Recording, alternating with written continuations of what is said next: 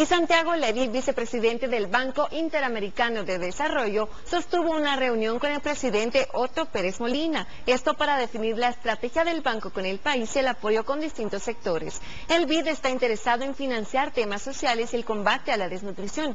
Pese a la voluntad en esta cita no incluyó hablar de montos. Además, el banco puede ayudar en asistencia técnica para la mitigación de desastres naturales.